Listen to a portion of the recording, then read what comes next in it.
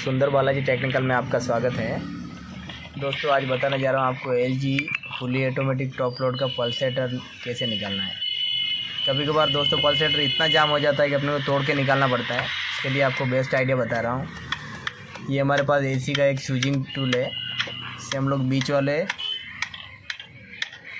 Snap को ठोकते हैं। Snap को हथौड़ी से चार पाँच ज़ोर से मारने का। उससे स्नैप हल्का सा लूज़ हो जाता है।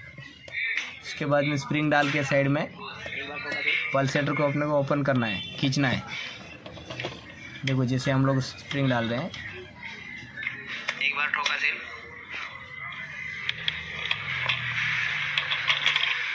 ये इजीली निकल गया अपना गोटी नीचे रह गया। अब हम लोग